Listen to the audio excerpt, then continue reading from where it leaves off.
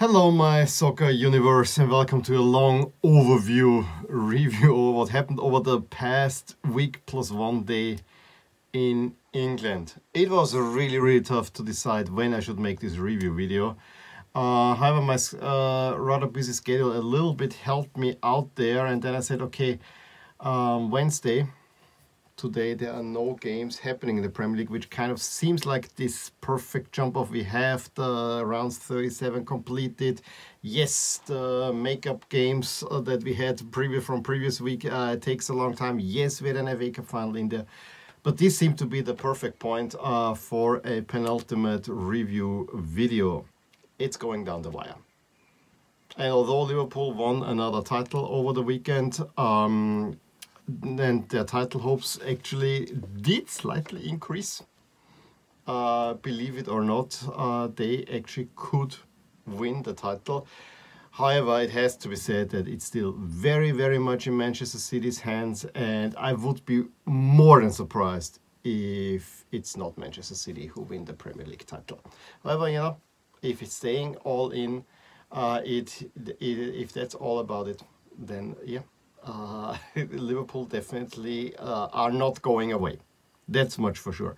And this is another Premier League season where one definitely can, can say, uh, you might want to talk about top six, but I think we have to talk about the top two. Liverpool, although spending not as much money as um, Manchester City did, have an equally strong squad and now the squad depth on both sides is really really really good and that makes for exciting watching uh, at least for a neutral. Um, and in this is a season where you barely can allow yourself to flinch. But flinched it a little bit and so it's going down the wire again like I think it was three seasons ago with Manchester City on the last day of the season with a slight advantage. However, it's also going down the wire for all the other races. Although I'm wearing Spurs, they are definitely the biggest winners over this past week. Not only disposing Arsenal, but getting another win and Arsenal dropping further points. They seem to be in the driver's seat now for this final Champions League spot. A spot where, to be honest, uh, given the schedule we look, we, we look at it, if they mess this up, this would be the most Spursy thing of all Spursy things out there. Um, and all, it also goes down to the wire for relegation, where uh, Everton twice missed the chance to actually relieve themselves from relegation trouble. Leeds just by hair hanging in there, and we will see that yeah, Burnley also may save themselves, may not save themselves. It's a little bit hard to call at this very moment, although one definitely has to worry about Leeds. But where I want to start, and it's not very chronologically, but I think it makes sense. The biggest uh, thing was, of course, the FA Cup final, where I cleared my whole schedule for. Um, I expected an exciting game uh, because all the other Liverpool Chelsea games this season were really, really exciting. However, it did not deliver. It was a rather timid, uh, dare I say, boring game. Uh, it was very much stalemate. Yes, in the first 20, 20 minutes, I really thought that Liverpool are going to eat Chelsea alive. Uh, Chelsea, I did want to say it uh, the last time around. I really expected Chelsea to play in yellow because seemingly this is what they have decided now are the, are the lucky jerseys. In the third consecutive FA Cup final, have, uh, losing two in a row. Uh, I really would have liked Chelsea to play in blue, but okay, yellow it is. Uh, it doesn't, not often that you see a um, red versus yellow matchup anyway, so I'm fine with that. So first 20 minutes went to Liverpool, but I think then uh, Chelsea got it sorted, and I think Pulisic missed a few, a couple of chances. I think Alonso hit once the post, but then I think Liverpool also in the second half twice the post. But these were the few highlights in between. It was uh, it was not a match that was edge of your seat material. Uh, it would, uh, you were it lived more from the suspense. Is there something gonna happen? Than there, there actually being something happening. Um, one might say that Chelsea maybe then in overtime played more for uh, the penalty shooter, but I also had the feeling um, that Chelsea were a little bit more cohesive in overtime. But you know, not necessarily the better team. There was really nothing to separate these two teams, and it's uh, an FA Cup final that I would love to talk a whole lot more about. We can talk a lot about the shootout um, that Liverpool in the end wins uh, with Chelsea holding the advantage by going first. Uh, it was this time the shootout, like the last time in the League Cup final, it was uh, in front of the Liverpool end. Now it was in front of the Chelsea end, uh, which is not an advantage. To be honest, I think research has shown that if you have a shootout in front of your own fans, you're more likely to lose than win because the pressure becomes even ramped up. Yes, um, you may have the support, but on the, on the other side, uh, is the attitude, yeah, I gotta win now. And so, yeah, uh, was that was a little bit weird. Uh, but it has to be said that um, even the Azpilicueta penalty that gets against the post, Chelsea had largely really, really good penalties was taken. Or I really feel that all the penalties were quite uh, well well taken. And then it come even Jorginho uh, puts it home it was also, I think, uh, remarkable that the first three Chelsea penalties were all uh, defenders, which is something that you don't see very, very often. Uh, I really like the sixth penalty by Hakim Ziyech, but uh, by that point, you know, Jorginho kept Chelsea in play. And then Mane steps up and uh, takes the first uh, penalty and takes a penalty against his national team teammate. and of course, I think Klopp told him go on the other side that you you should go back here because he knows that you know and so on and uh, blah blah blah. And that uh, seemingly rattled Mane enough, and so a penalty shoot where you really thought that Liverpool had already won it in the last penalty, uh, it is saved, and uh, it goes further, and I really thought that now is the advantage is with Chelsea. Uh, it was not to be because Mason Mount uh, sees his penalty saved, uh, and Tsimikas uh, slots it home. There were a few things I think um, for both penalties that, that I've missed, and I have not rewatched it, but I I noticed for both penalties that that um, uh, Chelsea missed, Alisson clapped in the uh, during the roundup. If that has anything to do with it, I, I don't know. We know now the club has hired an agency that helped him in the penalty shootouts with some neuro, neuro stuff. I think it was also the things, I mean, both teams now knew that, um, you know, you take the penalty when you take your penalty. Even if the referee whistles, you can take your time to compose yourself. And you could really see this. Maybe Mane was the one that who, who didn't do that. And the other thing is, that in order to um, get all these um, mind games out of the play, there was always Alisson there, handing the Liverpool player the ball, kind of preventing any uh, back and forth. So I found that in in in, and of course with Tsimikas there's an unlikely Cup final hero and Liverpool win a Cup final. I think in this case you cannot uh, say that uh, one team deserved it over another. It was just uh, a winner needed to be found and it ended up being Liverpool, who have now the Cup double, which is also already a big achievement. However, the two bigger prizes are still to play for, and it's very likely that Liverpool uh, end up with with three titles. As I said, the fourth one I don't quite see, but um, we we'll see on Sunday how uh, things went. Um, so that's my FA Cup final coverage. I really would have loved to talk more, but honestly, there wasn't much to talk about. So uh, we rather go to the Premier League, where we start with the makeup games from the 10th of May. Yes, this is over, over, over a week ago, where um, Aston Villa gave Liverpool actually a hard time. Liverpool, of course, saving the place. You know, uh, Liverpool and Chelsea had to play earlier because of the FA Cup, Cup, Cup final, and it's rather squeezing in the games.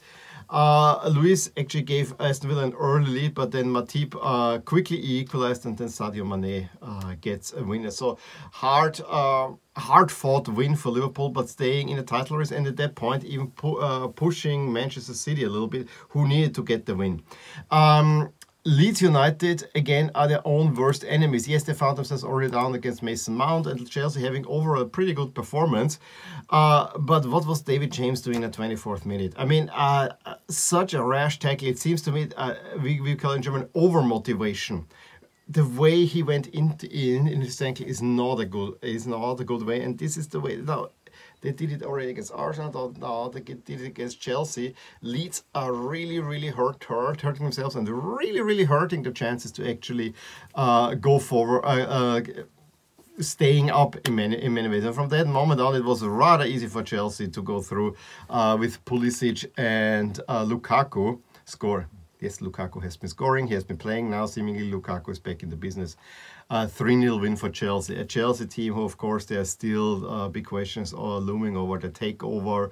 Uh, is it not going through? Uh, what will be the parameters? I My short statement on it is I think we will see from now on a different Chelsea, maybe slightly differently going. There will still be money, uh, but I don't think it will be the free spending that they has to do previously. So it will be, I think, it will be more emphasis put on recruitment uh, than going out for the biggest stars as they have they used to be. So in that sense, an end of an era. But let's see. I think Chelsea, at least until under Abramovich, uh, you always had the feeling that they might actually be able to spend themselves up to join the other two. It might be that they fall a little bit down to the London rivals and Manchester United, but uh, you know, all still in the air. As I said, Liverpool put pressure on Manchester City and Manchester City responded. De Bruyne are having an absolute peach of a game, scoring four, uh, four in a row. Um, only um, broken by a Dendoncker equalizer. But this was really De Bruyne gives them the early lead, then Donker gets the equalizer. And you really think maybe Wolves can get a point and make it a title race. No, in the 16th, so this was uh, within 15 minutes. Uh, they had, um, it was 2 1, so uh, 7, 11, 16. And then it was just going one way, and Manchester United completely destroying Wolves, uh, which was probably one of the trickier fixtures left on their scale. Not the trickiest one because that was definitely on the, on the weekend. Also doing a whole lot for their goal difference, uh, which they now completely dom dominated. This was a month ago. Liverpool had the better goal difference, uh, which is of course the first tiebreak in England. Say what, what you may. But uh, that now is firmly in City's hands. And it will be really, really hard for... Um, Liverpool to win the title if it's even, but I don't think we will get even points uh, at this point. So yeah, City taking the league, uh, the lead in the league again. Uh, we had another one um, where Everton do not win at Watford a win, I think, would have uh, put them safe, and so they're still hanging kind of around. This was really a, a, a game where I expected them to win. Uh, Leicester uh, 3 0 over uh, Norwich, so um, they also kind of moving a little bit uh, more up, but you know, more than a midfield uh, spot will not be happening there.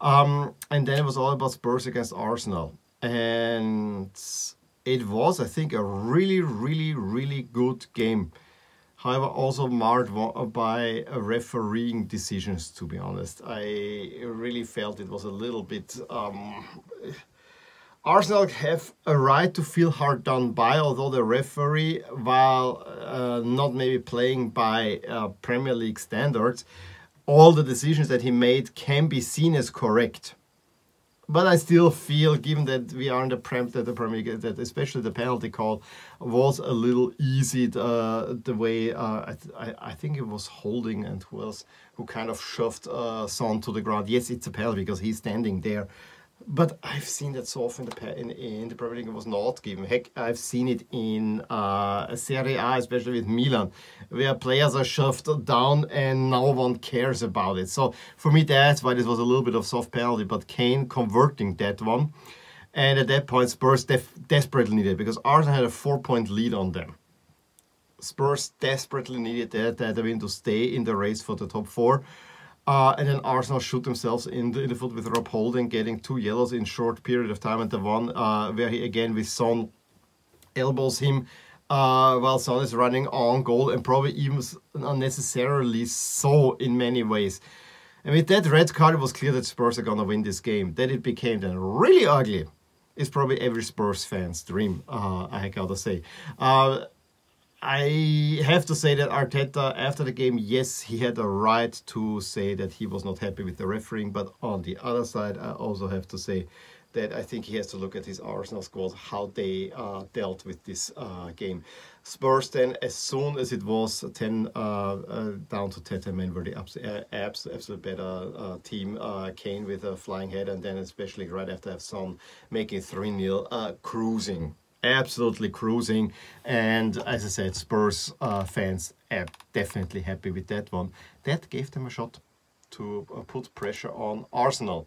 Uh, and it got even so. And as I said, at this point, they are within one point of ours. Arsenal City are three points ahead of Liverpool. So, uh, which basically meant if, if City would have won on the weekend with a better goal goal difference, that win more or less would have sealed the title. And on, on the bottom, um, Leeds really looking raw with 34 points, Burnley 34 and Everton 36. It, all still not quite safe, but uh, things pointing strongly towards Leeds. Uh, then on the weekend, uh, Spurs get a lucky win over Burnley with another rather softish penalty late in the second half. However, a win they get. And at that point, they're ahead of Arsenal. Um, Leeds United, very remarkably, uh, were on the losing end. And then in the 90th minute, uh, or in stoppage time, Struijk gets an equalizer. An equalizer that could pay dividends down the road because uh, everything else fell in their way because um, Everton managed to in, in in the late game lose to Brentford at home despite being 1-0 and 2 uh, 1 up but you know uh, getting two stupid red cards Everton would really have done something for uh, if they get a result against Brentford but no losing them uh, the, specter of relegation is still hovering around However, the game of the weekend definitely was West Ham against Manchester City. Um, boy, what a game it was! The last um, uh, a send off uh, for Mark Noble.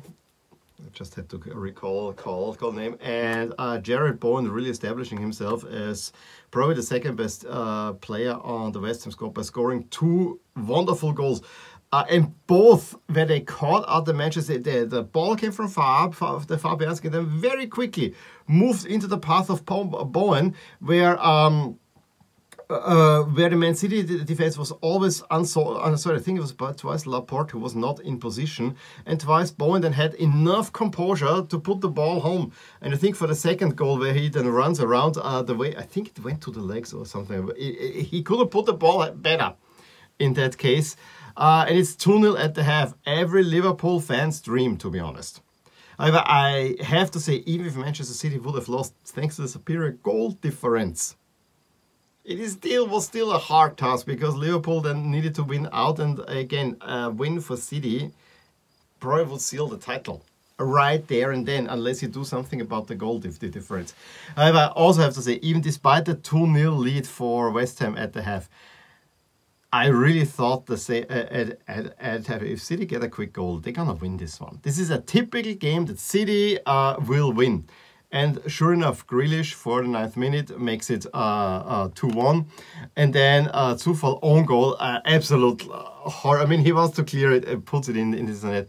Make, make, make, makes 2-2. Uh, in the meantime, I think um, Michail Antonio had a great chance, and uh, there were really two good chances falling to West Ham as, as well to make it 3-1, which probably would have sealed the game for West Ham. But then there's a late penalty, and to be honest, an absolutely deserved penalty the more I look at it, the more it was a penalty.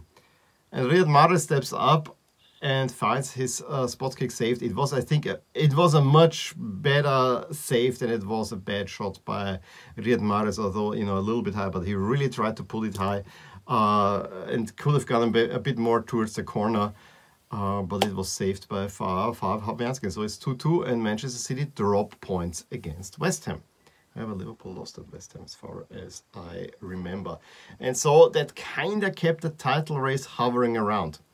And then on Monday and Tuesday to finish out, out the round, there were two huge results. Uh, Newcastle, and have you seen the new uh, touted away jerseys, the Saudi Arabia kids? Horrible. Horrible. Arsenal do not show up. And Newcastle win it 2-0 uh, through a Ben White on goal and led on to Bruno Guimaraes. Uh, but this was never really in doubt. Uh, this is such an indictment on Arsenal because if you would have thought that one of these two teams is playing for the Champ Champions League, you would have thought it is Newcastle. And it might as well be Newcastle next season.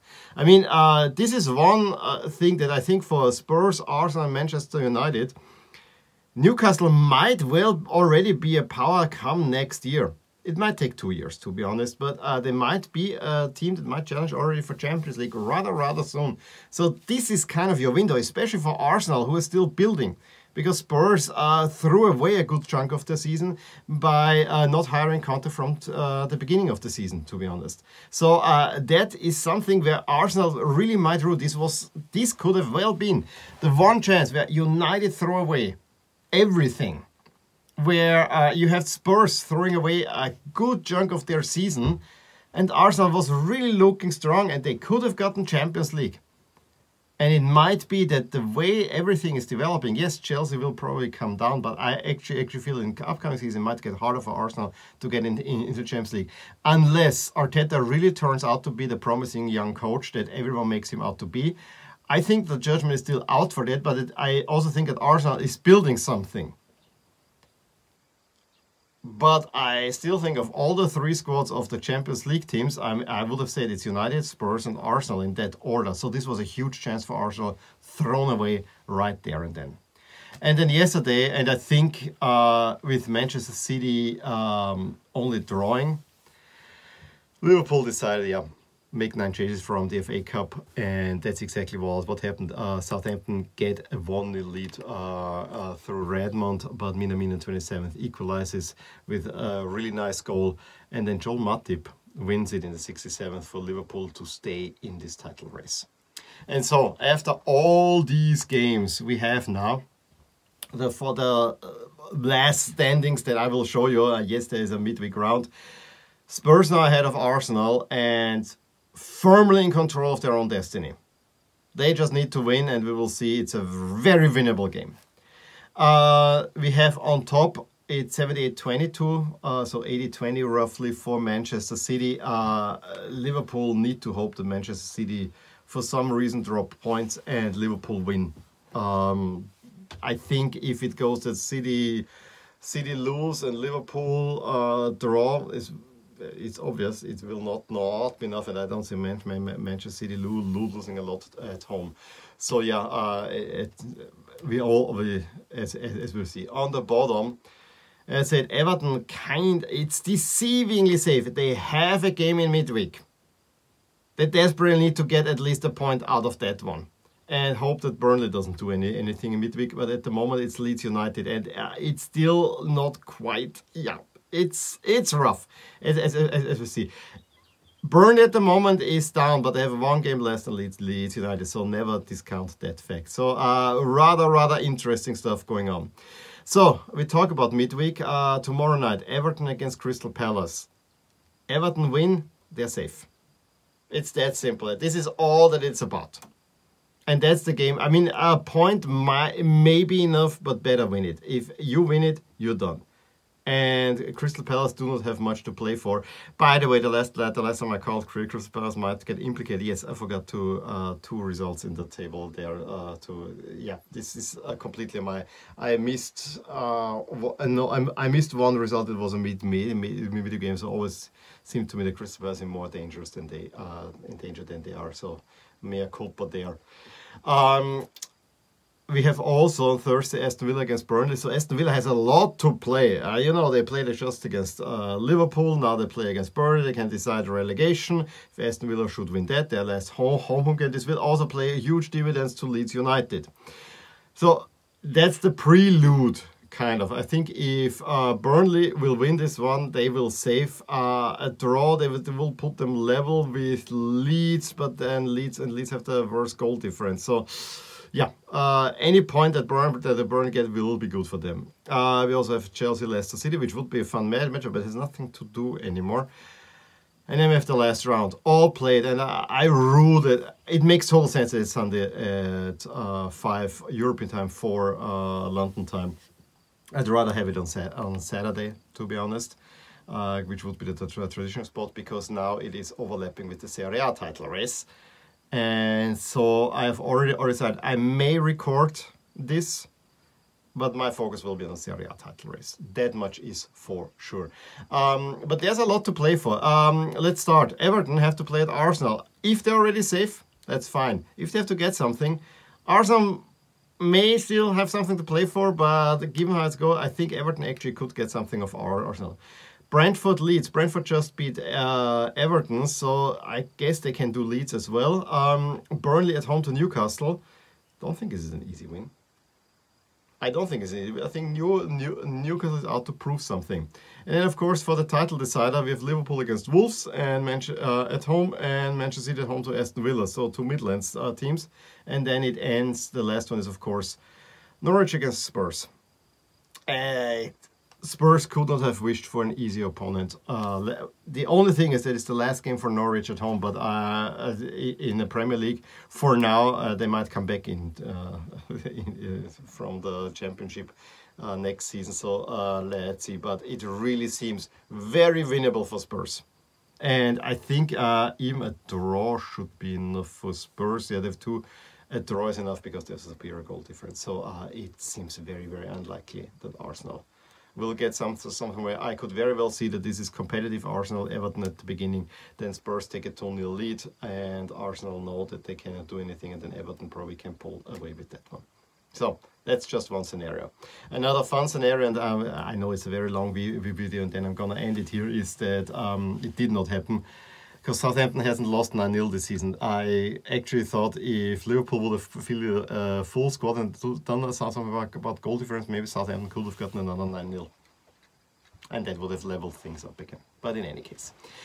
Please let me know how you think uh, the, how things will go down the wire. Um, any comments, of course, welcome. Give me a thumbs up if you enjoyed this video. Subscribe to my channel if you want to see more videos like these. And I will talk to you soon.